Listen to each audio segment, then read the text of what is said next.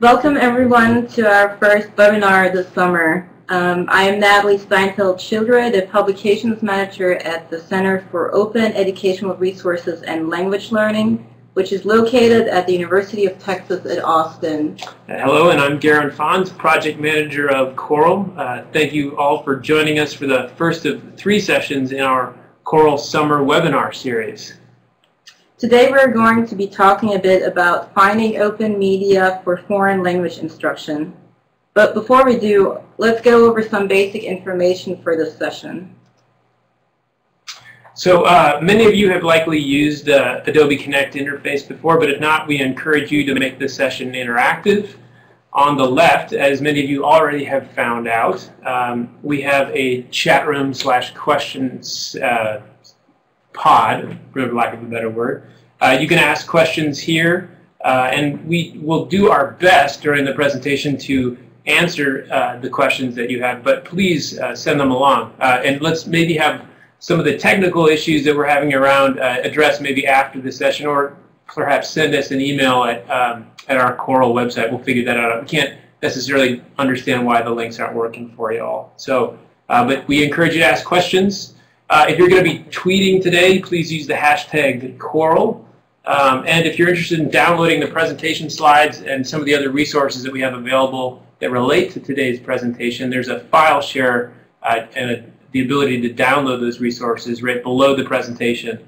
Um, we're also going to be posting this presentation. It'll be recorded uh, online on our website, and uh, all these slides will be available on SlideShare. Um, if you have any technical issues or sound issues today, there is um, a technical help button in the top right of your screen. There is an FAQ of some of the most common technical issues using Adobe Connect there. Sometimes it may help also to try another uh, browser such as Chrome or Firefox, which seem to be working best with Adobe Connect. If your technical problems persist, you don't have to worry about missing important key points. We will be recording today's presentation and making it available for later viewing on the website, on our website. Um, if you get kicked out for some reason, please log in under the same name as before so we can keep track of who's here. All right, so finally, uh, many of you who are joining us today have, again, already indicated your desire to receive the CME and CPE credit. Again, we're going to figure that out and take care of it. But if you uh, want to try the links in the info uh, tab, go for it and try and register. Um, but we'll, we'll be getting to figure that out and get you all a certificate of attendance. Okay, so Garen, today we're going to talk about the process of finding and searching for authentic open media for language learning and teaching. We want to start off by talking about a wave of changes that's taking place in education and discuss how open educational resources are a part of this reform. Uh, we do intend uh, with this session to encourage those of you interested in open educational resources to keep on working to create, share, and promote these resources. And those on the other side, inspire those of you who are new to the area to explore it.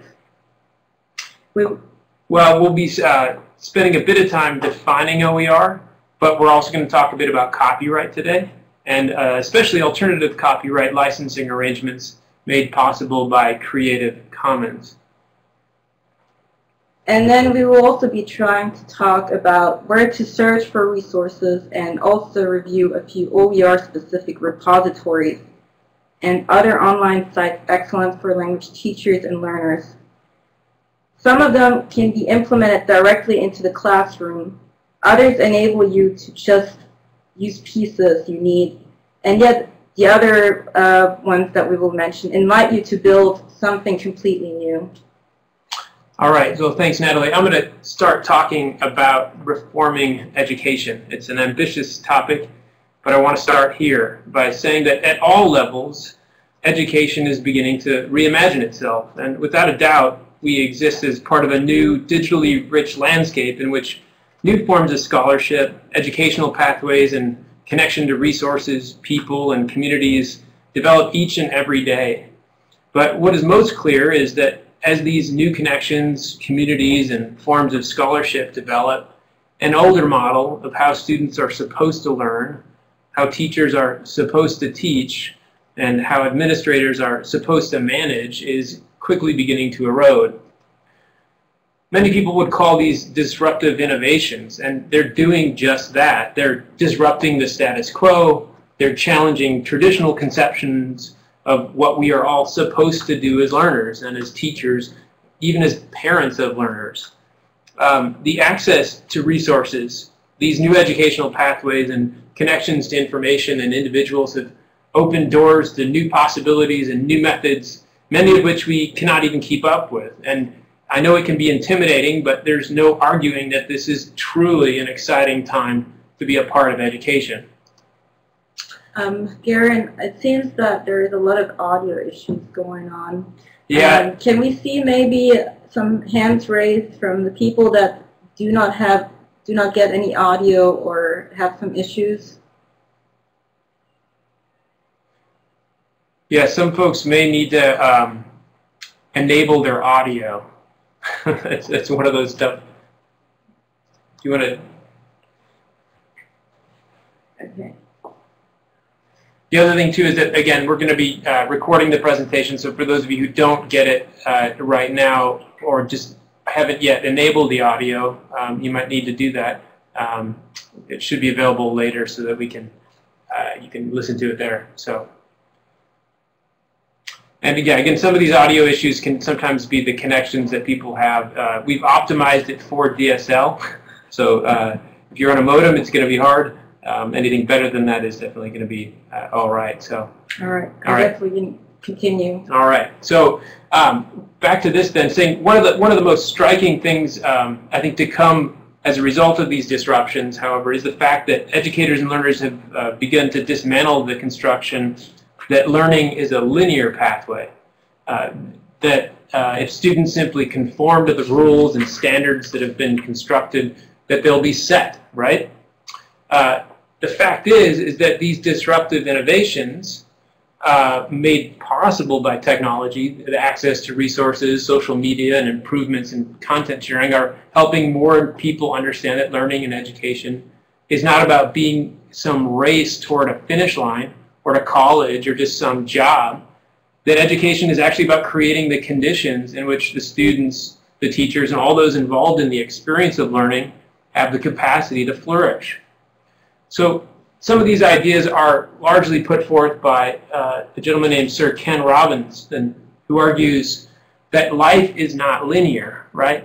It's organic, that we create our lives symbiotically as we explore our talents in relationship to the circumstances they create for us. And more importantly, he argues that when we look at reforming education and transforming it, it isn't like cloning a system. It's about customizing to your circumstances and personalizing education to the people you're already teaching. And in doing that is the answer to the future because it's not about scaling a new solution. It's about creating a movement in education in which people develop their own solutions, but with external support based on personalized curriculum. And this is what we really want all of you to begin thinking about today, which is to say, thinking about the fact that we all have the opportunity to reform education and be part of this community of cultivating learning. It's our belief here at COERLL that OER are an integral part of this movement in education. We believe it so much it's in the name of our center, right?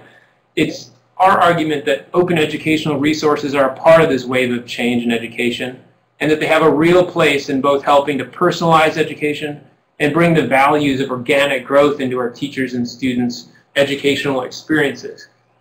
So, well, not exactly new, open educational resources have undergone a radical change since their popular debut in the early part of the 2000s as MIT open courseware, right?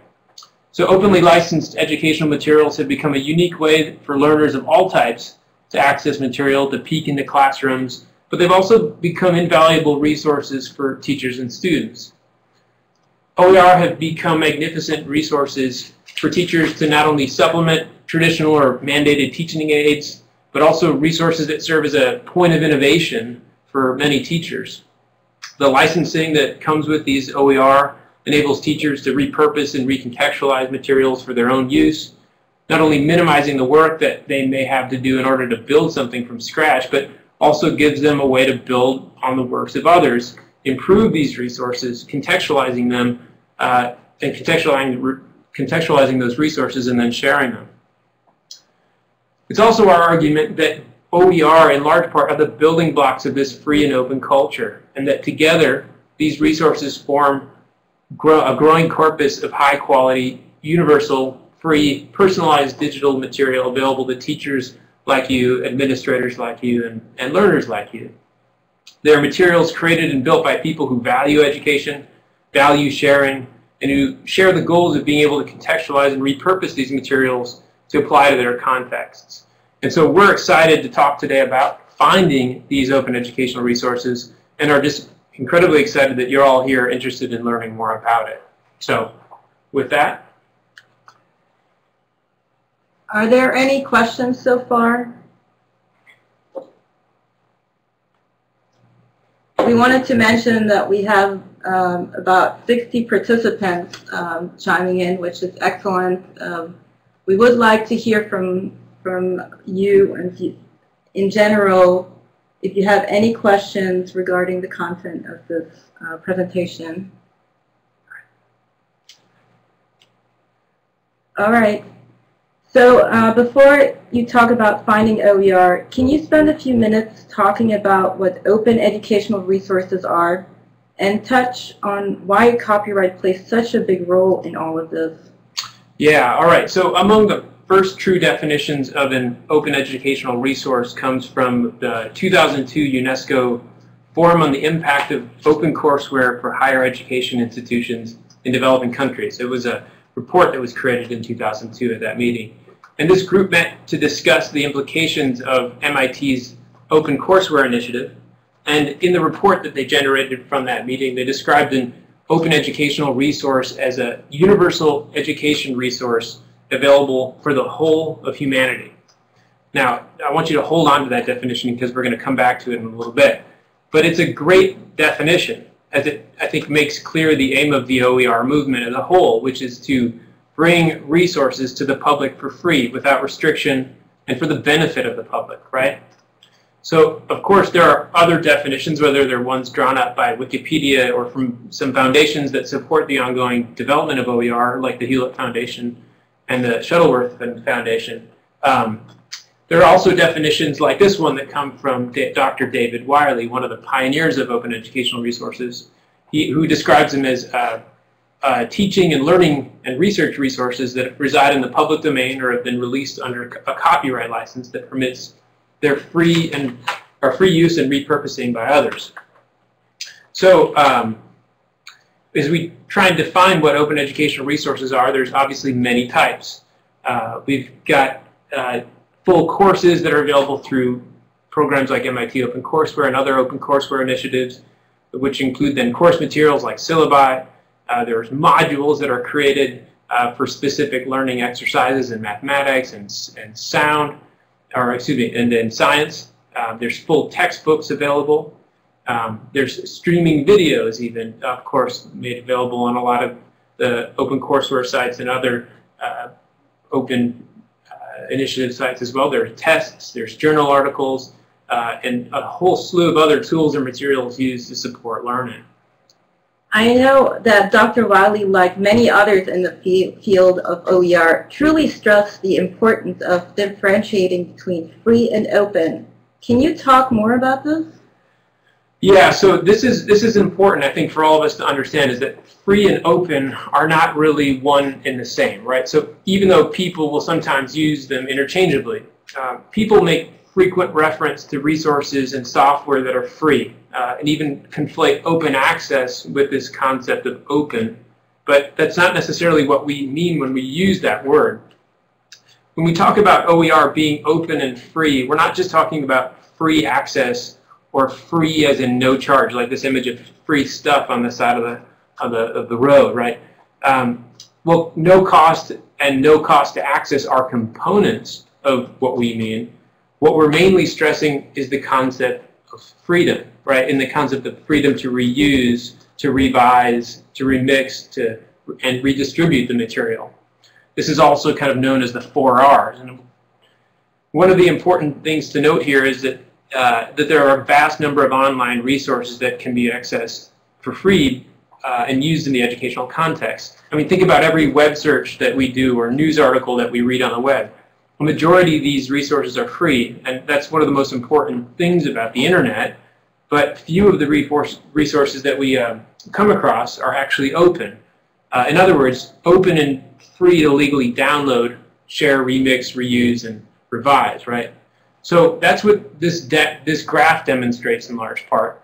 Uh, this is from David Wiley, um, who sort of tries to put this in play by saying that about 99% of the content on uh, you know the internet is free to access. But if you really want to actually make use of that content, you build upon it, change it, contextualize it, and share it with others. You run into some potentially major challenges with copyright.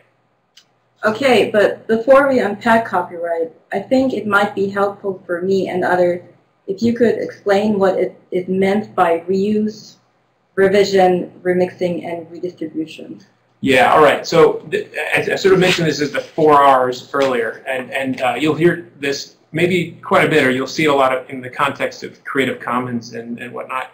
Uh, and the basic concepts behind that is that materials that are OER or openly licensed are generally, uh, depending on the license, giving you the possibility to reuse it. In other words, you have the ability or the right to reuse that content in its unaltered or verbatim form, like backing up a copy uh, of the content onto your hard drive.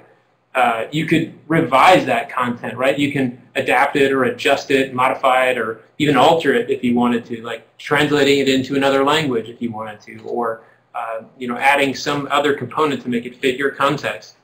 Uh, the other R in this context is remix, right? Giving you the ability to combine the original or, or revised content uh, with other content to create something new. So you could incorporate this content into a mashup, let's say, or, or a variety of other uh, videos, let's say, or if you're making your own video, you can put it in there.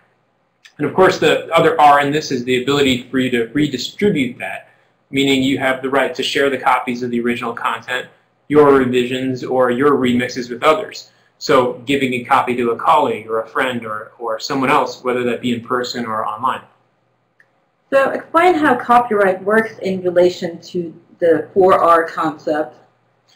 All right, so copyright uh, provides the content creator and the individual who holds the copyright with the exclusive right to control how people can utilize their work. Uh, they retain what is called all rights reserved.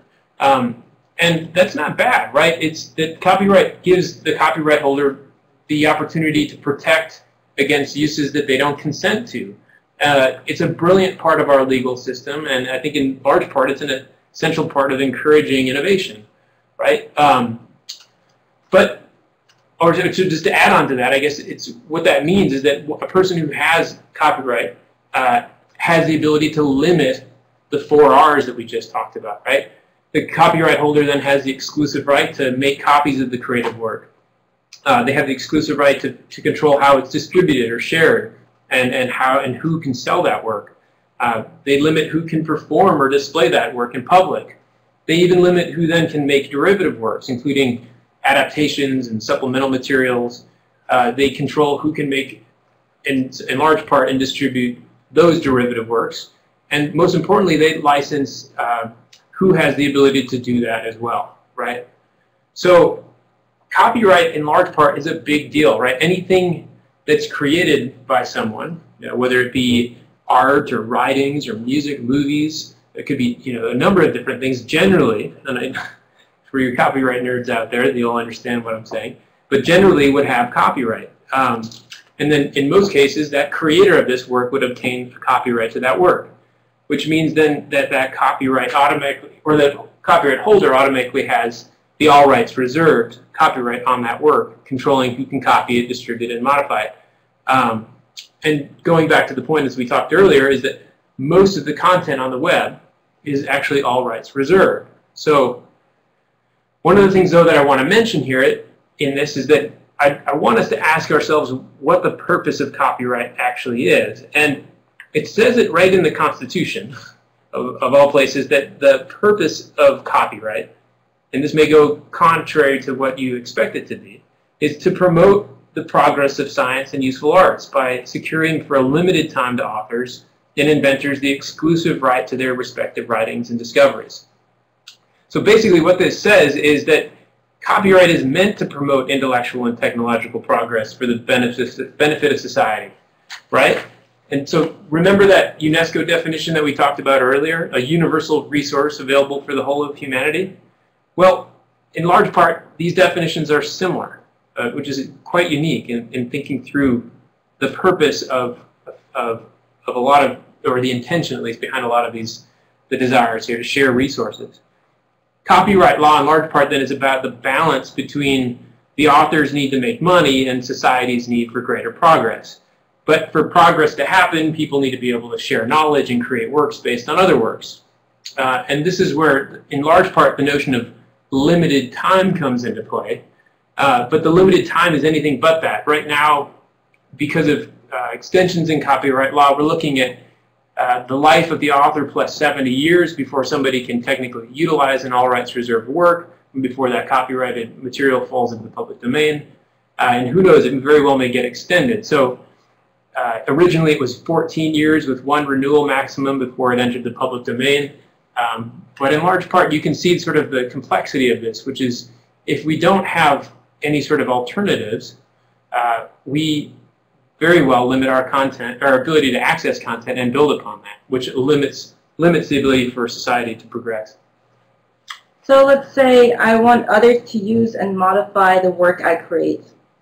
What if I want others to make use of a photo I took, or a lesson plan I have written, or a presentation I have made? How can I let others know that this is the way I intended this to be used? Yeah, so anyone who creates something can let others know how they would like to share the resource by using what's called a Creative Commons license. And many of you might know about this, others you may not. Um, but openly licensing content is actually really easy. Um, it basically takes this concept of all rights reserved and moves it to the notion of some rights reserved, right? Um, you don't abandon your copyright by using a Creative Commons license. You basically just extend it. Um, you, you, remember that last part of, of, of, copyright talking about one of the rights that we have is, is limiting the ability for, to, or allowing us to license the content to others? Well, that's basically what Creative Commons helps one do. Is it gives you the ability to license that material to others. Um, Creative Commons licenses enable the copyright holder to extend the privileges of copyright to others uh, at a minimum by allowing or having people attribute the work back to the to the author.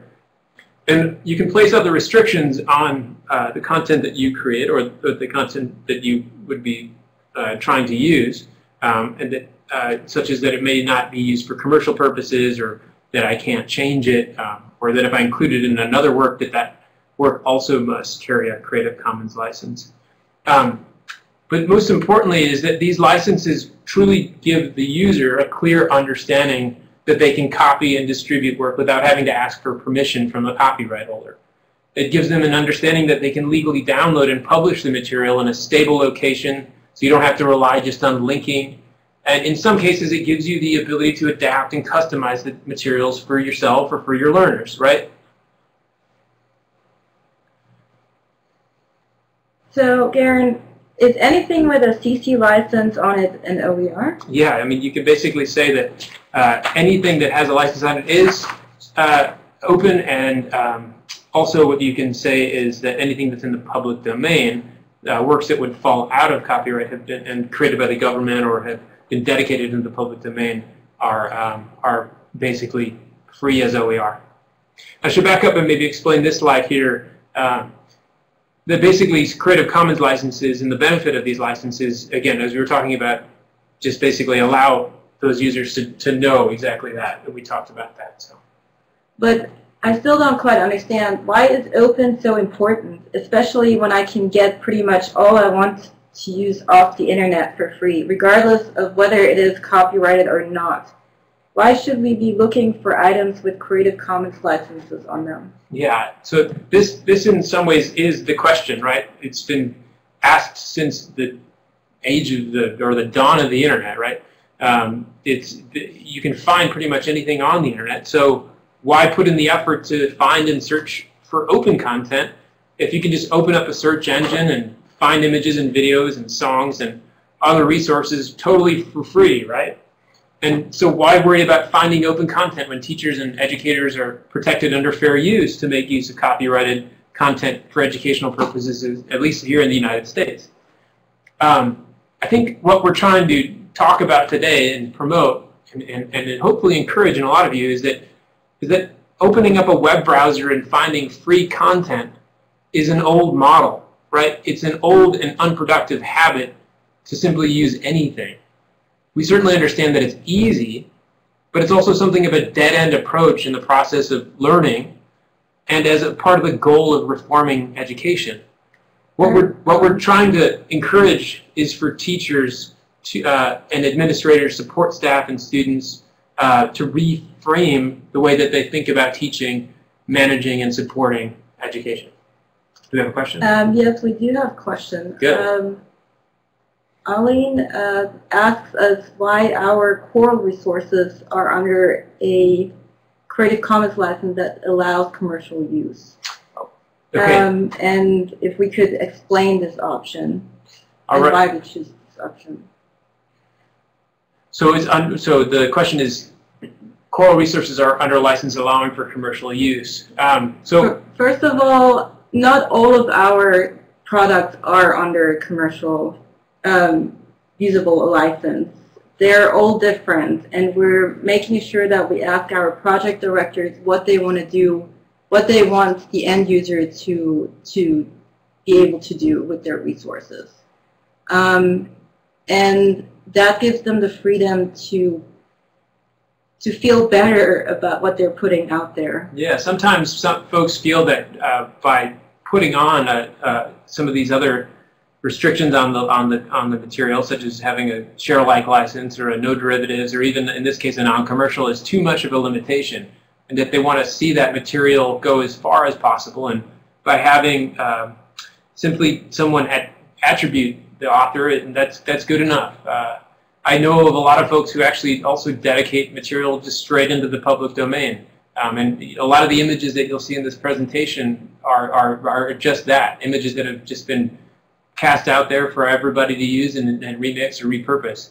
Um, and so I don't think that we're necessarily going after the, the goal of making money on, on these resources. And, and it's possible some of the things that we do with print-on-demand resources we, we, can, we can recoup. But at the same time, the goal is, again, for people to get them into their hands and reuse them as best as they possibly can. So that the end goal, I think, also is to have uh, as wide of an exposure as you can get, because um, pretty much everything today is driven by popularity. Um, also, and and opening it up to commercial use gives you new platforms of distribution. That's true. That's a really good point to say on that. Um, and, and somebody had asked here who the, who the pres presenter is. I'm Garen Fons. I, I said that earlier on in the in the presentation, but some of you who just joined us should probably interrupt and do a station break or something. Yes. so, Um, and this is Natalie Steinfeld. I'm Children. Natalie Steinfeld Childre. I'm the publications manager at COERLL. Um, there was also a question about iTunes U lessons. Oh, okay. So, uh, iTunes U, some lessons are licensed, others are not, right? So this this gets to the reality of some of these materials being open access, as in free to access. But if you want to, let's say, download them or reuse them, uh, broadcast them, you might be limited by some of the same licensing that would would occur when you're downloading a song. Um, you know, you can't remix that song necessarily or rebroadcast it.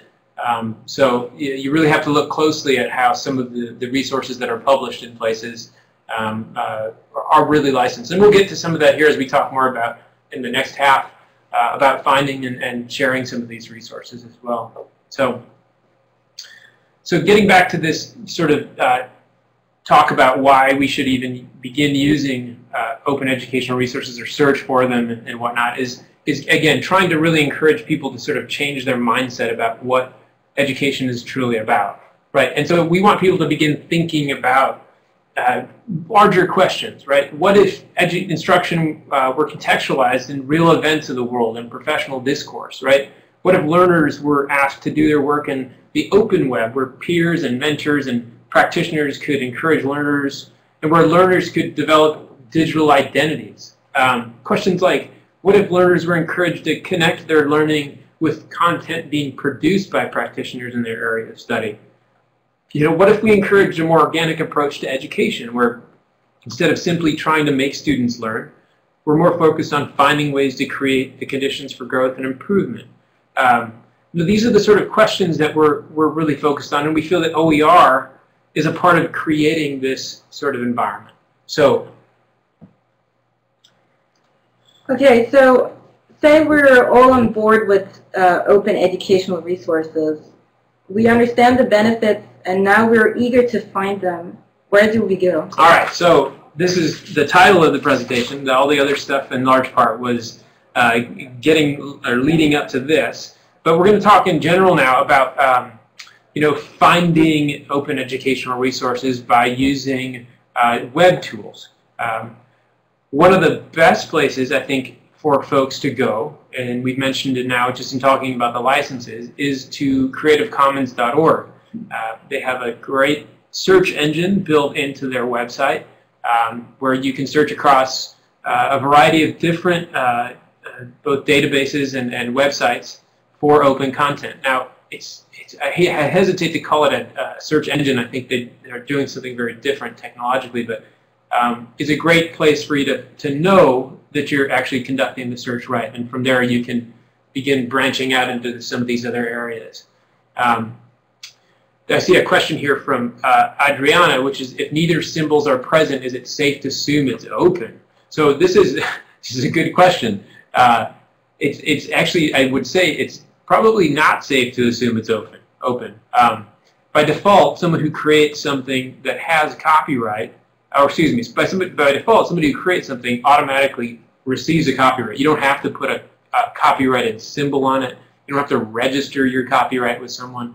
Uh, so uh, if it's a creative work, uh, it's, it's likely under copyright. So um, if you see a symbol with a Creative Commons license on it, um, then yes, it's going to be open. If you see it with uh, a resource created by the United States government or it's you know a, a work that appears incredibly old, uh, you know let's say prior prior to uh, the 1900s, you're most likely going to be fine to use that resource. But uh, the default assumption, unfortunately, is that, yeah, unfortunately the resource is probably not available, which in large part, or excuse me, is not open. So which leads a lot of people to simply using stuff without really knowing. So. Um, there's another question about um, you mentioning digital identity. Um, I don't know if I talked so much about digital identity, but I think what I'm getting at in this is that there are uh, digital innovations that are happening uh, or that they're basically a part of, of, of how, how, we're learning and how we're uh, interacting with one another. I mean, perhaps when we talk about digital identities with learners, is that it's that technology no longer is a uh, is something that's incredibly special, right? It's it's ubiquitous. It's in our pockets. It's, it's in our backpacks. It's at home. It's among our friends. It's it's something that's pretty much everywhere. So we, we by default have a digital identity. Uh, and again, we're talking about this in the context of the many places in the U.S. Uh, not all uh, environments are, of course, as privileged. Um, but for, for students, a lot of students, you know, even in places that are less privileged, you know, access to technology is, is, is there. And again, it's not just about technology, but in some ways it's about access to other uh, connections that are made possible by those technologies. Um, but as a result of that, with technology not being as special, I would imagine that people are focused more on the what it means to learn. Look, we don't need these tools like to be enamored by the tools. We need to be enamored by the connection and by the by the by the learning that happens as a result of that. So, um, or Aline, if you have got a more specific question about that, I'd love to love to hear it. So, Uh, so what if you? What about if you convert something from one source to another, like in the case of a YouTube video or a WMV file? Um, again, you're going to have to look at the licenses. YouTube, by default, has a standard YouTube license, which gives the individual who uploads the content to YouTube their, their copyright. Uh, if you convert that file, uh, it's, it's, this is one of those gray areas of copyright. Um, you, you very well may need to ask for permission because the, the, the, the reality there is that you're going to be potentially sharing it. But if it's for personal use, I think you're probably going to be all right. If it's going to be in the context of the classroom, you're probably going to be all right under fair use. Uh, but you have to really ask your question: Why am I why am I changing this format? Um, you know, what for what purpose is, is, is it intended? If it's intended to share with others, then then uh, you might be in a position of of, uh, of infringing someone's copyright. So. But if it's under a Creative Commons by license, they are free to do Absolutely. whatever they want. Absolutely. Yeah. Now, if it's under a non-derivative license, or uh, you know, then then you you you may not very well be able to do that. So. Mhm. And so it's fair to the end user, um, and, and we actually, when if every one of you um, in the future um, puts a license on the materials you create, um, that will just be a better way to communicate to people who are using your resources what they can do. Yeah, that's great. All right, so with the 20 minutes remaining, we're going to keep going through looking at places to find OER in general, and we're going to really get uh, on to talking about uh, language learning specific resources. I, can, I, I love the copyright questions, and I think we're going to have to do an entirely new session on it, um, and, and we, we very well will. Um, so the next thing I want to show you after Creative Commons, uh, and please go there and check it out, is obviously most of us are doing Google searches to find uh, resources when we're putting together lesson plans or, or, or uh, trying to find content that's exciting. What I would suggest is that people check out, if they haven't, underneath uh, your, your, your, basically your control panel of, of, of the Google browser, uh, look at the, uh, the settings page here and, and go to the advanced search. And if you've never done this before, you can go to usage rights, which appears in the, in the bottom of the page, and you can filter the results that you receive uh, by license type, right? Giving you uh, materials that, that would fit your context, whether it's uh, ones that you want with just attribution or ones that uh, you feel you would perhaps uh, put into a different resource that you might monetize in some way. So check out that for sure. Uh, another place that you can turn to to just find general content, uh, we're talking about photos and videos and sounds, uh, some of which are, again, great for language learning. Sometimes just having realia or authentic media is uh, Wikimedia Commons. There are um, just a, a, great number of resources here, and it's expanding. It's basically the back end for uh, Wiki, Wikipedia. So um, if you've never been there before, uh, definitely check that out. So. Okay, so how much open, how much openly licensed con content? Yeah, well, I I'm just not sure. There's a lot of open content available, but how much? So how much? All right. So I get kind of happy when I see these numbers, right? There, if you look right now, there are close to 4 million licensed, openly licensed videos on YouTube, nearly 17 million free media files, uh, free and open, I should say, on, uh, on the Wikimedia Commons, more than 240 million openly licensed Flickr photos, uh, and 42,000 public domain books in Project Gutenberg. This is just scratching the surface in large part of, of what's out there. And basically that's to say that like so many people are sharing resources, whether it's institutions, individuals, governments. Um, every year, the amount of content that people um, are making available and now is available to create new material is is staggering. Um, you know, this is like having millions of new building blocks at our disposal. You know, these individual pieces that we're talking about, like photos and songs. Uh, there are other assembled resources like learning module and presentations. Um, all of these materials are evolving, right? As we see that, as, as we look at Wikipedia articles or remixed videos or, or even just seeing how people have uh, employed content in, in, in varieties of contexts and then and then share them again. So it's uh, sorry to hear that YouTube and Wikipedia are, are blocked. Is it, uh, uh, Taryn, you, you described that? Um, I don't know if that's a school policy or if that's something that's uh, uh, specific to country. Um, but that's, that's difficult to hear. Um, so as we're talking about the number of OER that are available, obviously we can talk about types. There, we've sort of highlighted some search engines or a, a, a variety of areas you can go to find what we would largely call these building blocks, these images, these songs, these videos. Um, but there, as you look at types of OER, there's obviously a great evolution into full-fledged, uh, uh, sort of comprehensive materials, right? Open textbooks. Uh, in this case, we've showcased some of the textbooks made available by the Connexions group in um, in Houston. Uh, open courseware, right? We've got PowerPoints and audio and lectures and lecture notes and syllabi. There's classroom activities and, and lesson plans that are available through that. We even you know, have a lot of resources for uh, teaching language learning um, available here at the COERLL uh, office, and we'll talk more about that in a second. I mean, it just it just is amazing how many different types of, of, of resources are out there, especially folks who are looking to learn a second language uh, as well. So what about open educational resources specific to language learning? Okay, so this is where this gets kind of exciting, is that as we talk about communities of, of, of that are, are stemming around the creation of OER, um, there are an immense number of materials available uh, specifically for language learners and teachers that, that really focus on this idea of, of adequately or even exceptionally learning a language. Uh, again, all these materials are are geared for reuse, uh, and, and, not just in the classroom, but a lot of times outside of the classroom. And so one of the couple of the resources that we want to highlight, one is a, a database or a repository called Merlot, and um, this has a large collection of materials, probably one of the larger uh, collections of, of, OER materials.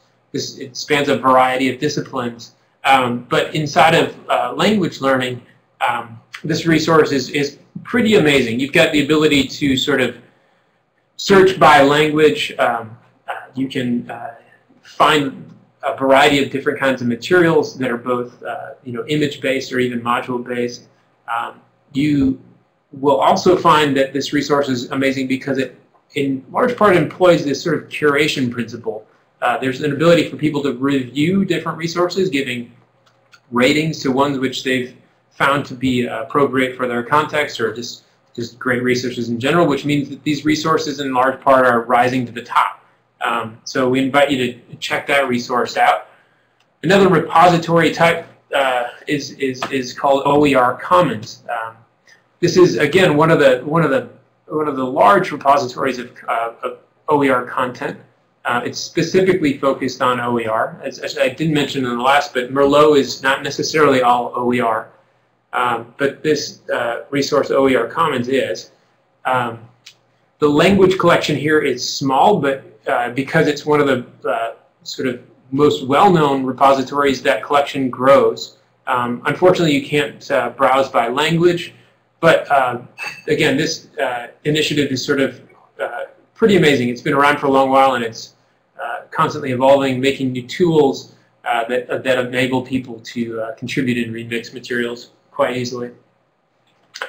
Uh, this is just another sort of look at that. Uh, you can, again, browse by language, the, the sort of different age groups, different uh, context areas, things like that. And they also have a lot of great resources for uh, just people to learn more about what OER are and how to implement them and you know, teacher training and what, whatnot. So um, Another great resource uh, for those of you who teach or are interested in learning about less commonly taught languages or LCTLs uh, is a resource that's been made available by uh, the University of California in Los Angeles or UCLA. Uh, it's called the Language Materials Project.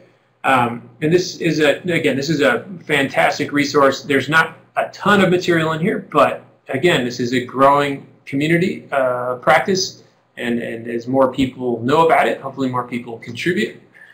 Um, one other resource I want to highlight uh, is Wikiversity. It's similar to that of the Wikimedia Commons. It's a similar sort of structure and finding things. Uh, again, really kind of good at finding um, uh, more specific content toward uh, these sort of, as we talked about, images or uh, small little uh, activities for you to use in the classroom.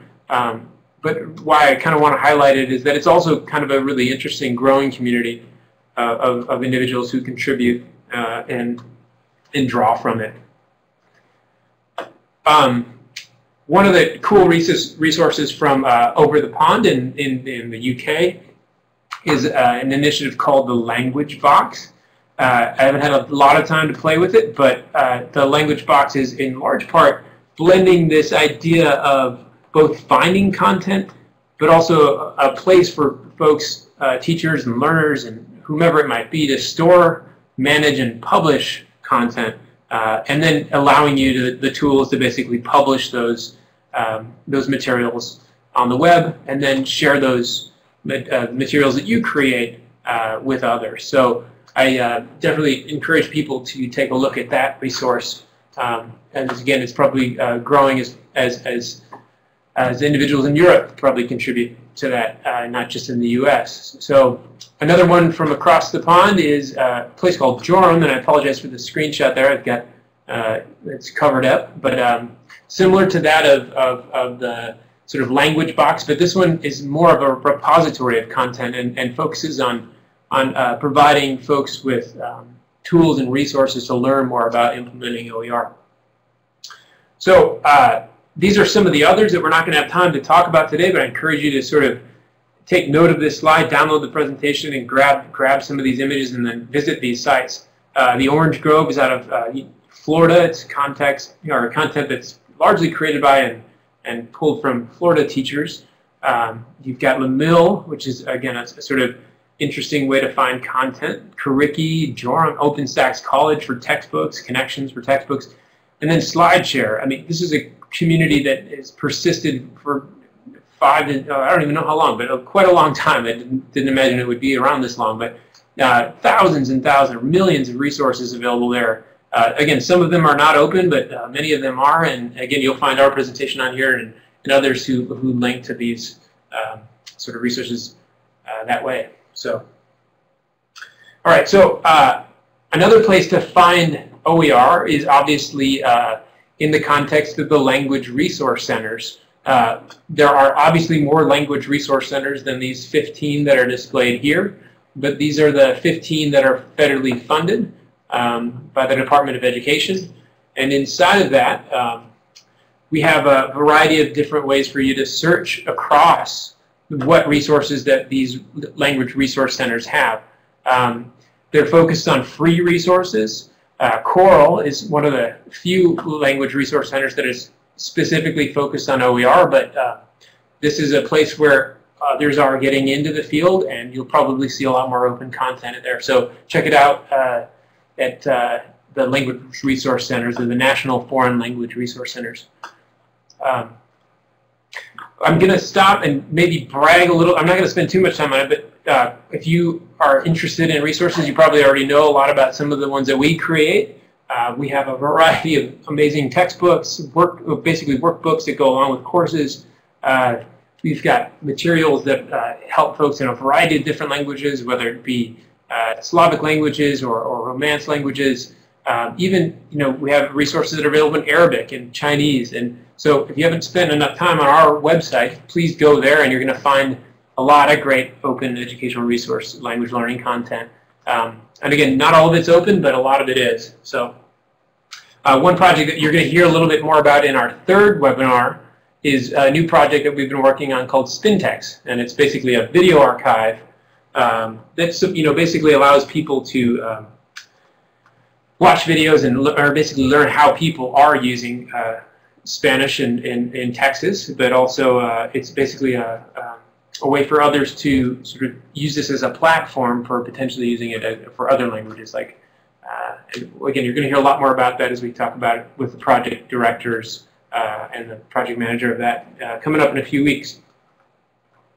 All right, so one other resource that is not associated with uh, the language resource centers, but is part of sort of an institutional um, uh, initiative, is that of the of Loro, kind of playing on that notion of a parrot in Spanish, but it's called Language Open Resources Online. And this is a fantastic resource. Uh, specific to language teaching and has an interface that, much like uh, Language Box, as we described, has an interface for you to create an account, publish, and share your own resources. Uh, and most importantly, here you can actually connect with other language teachers throughout the globe, which is, again, part of this notion of communicating and collaborating with colleagues. Uh, one uh, other kind of really interesting project out uh, west in Washington, uh, Washington State, is that uh, is a, is a, a project of images that are collected uh, as the culturally authentic pictorial lexicon. Um, and it's kind of like, in large part, the Flickr for language professionals. Now, there's really great realia, um, and it kind of has other, way, other ways of understanding how images are, are sort of used in the context of a of certain um, uh, you know sort of language situations. So uh, we invite you to check that out as well. Now, one of the more uh, convenient ways I think, and sometimes about finding out where great resources are, are are using social media. Um, two of the uh, hashtags that we'd recommend that you start with to sort of get familiar with what might be out there are uh, hashtag LangChat and another one called EdChat. Now, you're not going to find specific OER resources here, but uh, from time to time they do come up.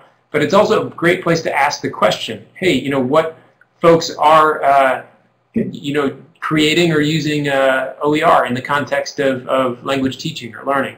Um, another community to begin to look at, I think, I mean, there are many more, but uh, some of those that we're kind of excited about are, are on Google Plus, uh, in the Google community sort of uh, uh, part of it, and, and uh, one of which is the foreign language teaching group, uh, another one called creating open uh, creating an open classroom, and another one called uh, Pure Pure Purog.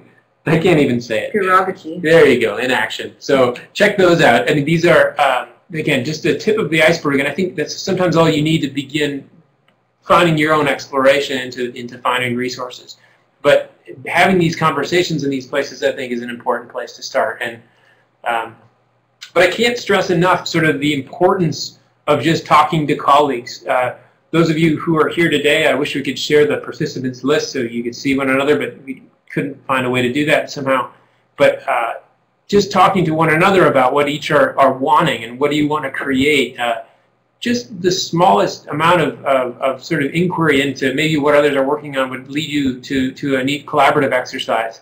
Uh, that can happen with your colleagues. It could happen with students. Uh, many of you probably are in, in, positions where you have such eager students who want to create projects. And what better way to sort of incent, you know, form a collaborative exercise than to say that this resource could be used by others and, and actually put into play and, and, and, and become a learning resource that others can modify. Um, as we talked about, sort of uh, get on those online uh, groups and find out who, who else is doing some of this stuff. So Wow, thanks, Garen. Um, that was a lot.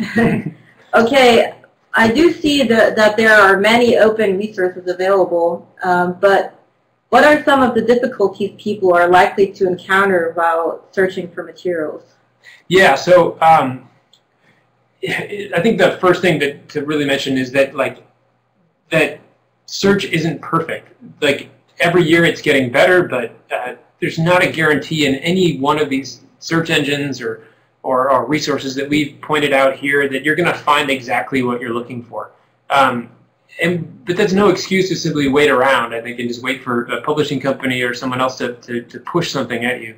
Um, you know, there are going to be places where there's just not enough metadata that comes along with these resources to, to, to, to in other words, allow people to find these resources easily different repositories use different APIs, so it's difficult to build uh, other applications and other things on top of it to make it easy to find. There's lots of broken links. There's old links. There's ones that have expired. Uh, content's old in some cases, right?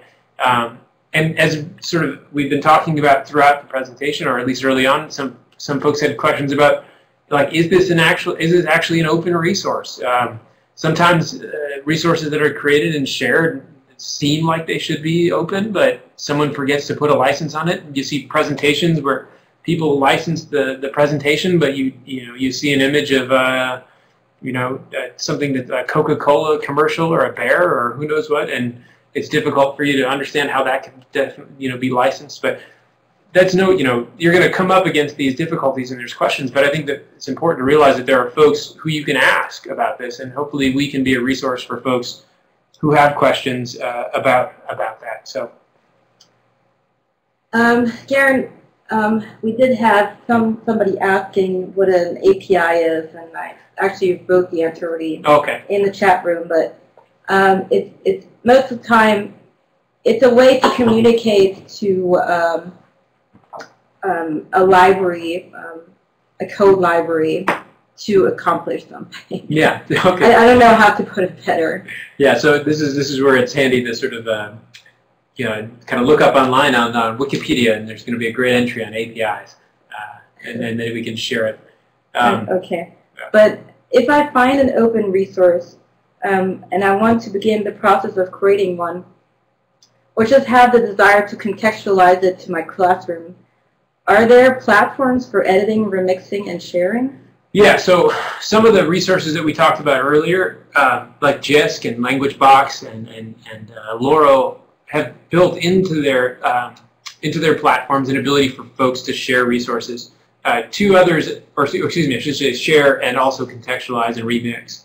Uh, two others I do want to highlight though. Uh, one is an initiative by the Shuttleworth Foundation, which is a pretty great tool. Um, it's called OER Pub, and it's uh, basically it's an open source tool for authoring, um, adapting, remixing, and publishing content, and then again delivering these to to the web and to various devices, right? So they're taking that a step further, realizing that as we talk about technology being in large part ubiquitous or at least going mobile uh, for a lot of folks in the world, that that, that content should be available uh, on those devices, but also they still stress that reality of materials being in print. Uh, so allowing for folks to create content that can be easily downloaded and printed. Uh, Connexions is another resource we talked about earlier, based at Rice University in Houston.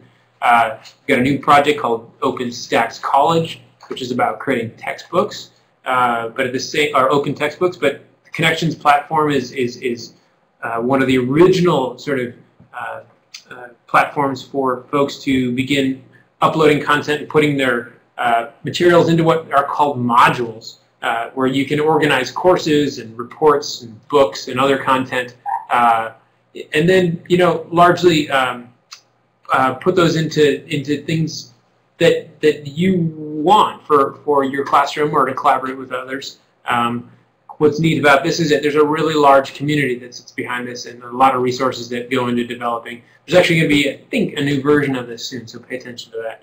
Um, I won't have time to go into a lot of these, but you know, uh, there are a lot of other places. If you're doing videos, check out YouTube. There's a YouTube editor. Uh, OER Commons, as we mentioned earlier, has one. TED Ed has a great place to to sort of uh, explore remixing content. Uh, Open Tapestry is a sort of uh, renewed uh, initiative out of an organization in Utah that is also quite doing something quite similar where you can discover and, and adapt and then share learning resources and then organize your content into what's called an open tapestry. But I think what's important to realize here too is that standard Office suite products and, and things work just fine to remake content, and so do Google Docs, right? So just make sure to keep keep in mind the simple resources as well. As we near the end of the presentation, are there any final thoughts? Yeah, all right. So uh, I want to get back to, in large part, sort of uh, what we talked about earlier. And we hear a lot from teachers, right? And one of the things we often hear is, I'm looking for authentic learning materials and materials that will make my classroom more vibrant, my students let's say, more engaged or my lessons more contextualized and relevant to my students' learning experience. Uh, many of the folks who talk to us describe searches that they conduct online and the time they spend looking through publishers' offerings. Um, and and uh, basically to describe that finding resources is difficult, right? And there's just so much out there, whether it be videos or music or photos or just different learning modules. Um, and, and that even when they do find something that might work, it's just sometimes a limited version or a trial version, uh, something that the teacher might have to purchase, uh, or just can't adjust in a way that, that, mo or modified to fit the context of the classroom, right? So that's what OER are addressing on, on one level is, is this reality that, uh, you know, OER is about this community of practice, about people sharing, about people uh, giving people tools to, to sort of work to create content that makes sense for their situations, right? And I want to encourage people, I guess, to continually search out OER and the communities of practice around them. And as we go forward in search of OER, to begin to continually talk to people about what OER is, how others are using them in practice, um, and then really get again get back to that con that understanding that learning uh, is not a linear pathway, but something that's quite organic. Um, I also want to stress that open educational resources aren't the solution, right? They're, they're a resource. They're, they're, they are a tool. They're a part of this transformation in learning. Um, and that there's, there, there are things that can be utilized to, to, again, help cultivate this environment of learning and growth uh, uh, and, and basically allow people to develop their own solutions um, and to, to contextualize or personalize these resources to their own learning contexts, right? I think it's also just important to, to note then that everything starts with sharing. Um, and maybe we'll just end on this, is to say that tens of thousands of people every day are, are creating content and open content, right? There, there are organizations that have this as a part of their mission. There are people who dedicate their lives to basically repurposing and sharing materials. Um, I think it's just important to note that there are millions of resources at your fingertips for you to use and employ. I know it takes time to find it, but they're out there. Um, the ability for certain to, for you to find these resources is is is getting better. So if you're frustrated by not being able to find certain things, just keep talking and and maybe be a part of something that's improving that. Um, but know that as search gets better, we're going to be able to find materials that that, that uh, fit our context all that much better. Um, and I can't stress the importance enough of basically just trying out and, and, and continually to encourage you to generate material. Uh, you know, use content creation tools that enable sharing when you're building projects or building lesson plans like Google Docs uh, so that you can easily share that material with someone else. Um, share Then basically when you're getting ready to share it, make sure you license it. Go to Creative Commons and, and find out how you can make use of of their licenses and, and make their material, your material have an impact by, uh, by, and being very clear as to how other people can use it. Um, I would love to basically say to just keep on encouraging other colleagues and students that you have to share their material. And even if all you do is share links to open content or just promote the open community, that's, that's an important part of this. Um, and I think maybe something that's quite, quite, quite interesting is basically just support and comment on OER when you see it, right? Say thanks for sharing on a presentation or or uh, or, or comment on, on, on, on things on SlideShare or wherever it might be to say, hey, thanks for thanks for doing this. Um, there's there's no bad way to participate in this community, even if it's criticism or or if it's uh, or if it's uh, you know complimentary. So um, I think what I'll finish up with though in saying is that uh, we haven't even, uh, well, I'll quote Cathy Casserly and say this by saying that, like, which, and she's the CEO of Creative Commons. And what she says is that we haven't even come close to tapping the full potential of OER. And that we need to help more people understand that these materials are not just free, they can also create communities of teachers and learners who collaborate on their continuous improvement, and that that's the real magic, right, in the actual reuse and remix. So as you go forward and finding resources, perhaps leave with this thought that it's also about you contextualizing those, rebuilding, and then sharing those back and helping build back into this community. So with that, I, I, I know that we're closing in on our hour. Um, I, I, just wanted yeah. to mention again uh, for everybody who hasn't uh, had the chance to see that in the chat room that uh, we'll have an upcoming webinar session next Wednesday June the 19th, again at 3 p.m. Central Standard Time. And we will hear there about the practice of using and teaching with OER. That's right. And this, and, and a lot of you have mentioned that would be of interest to you. So this will just be the natural next step in this discussion. That's right. Um, and so again, for those of you who have had a little bit of an issue with um, getting the CEUs or CMPs or CMEs or whatever we're calling them, uh, we'll just um, we'll be in touch with you. That we'll, we'll go through this chat history here and, and find out uh, what uh, what we need to do to get you the the, the certificates. So, thank you for attending, and uh, we'll see you all next time. So, thank you very much.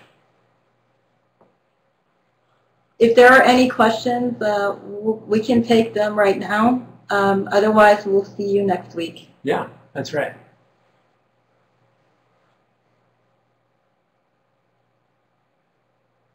I I also want to take the time to thank uh, Garen Pons for presenting. and thank Nathalie Childre for, or Steinfeld Childre for, for being the wonderful, uh, The technical chat room host, as well as the uh, the, the host of the session. So.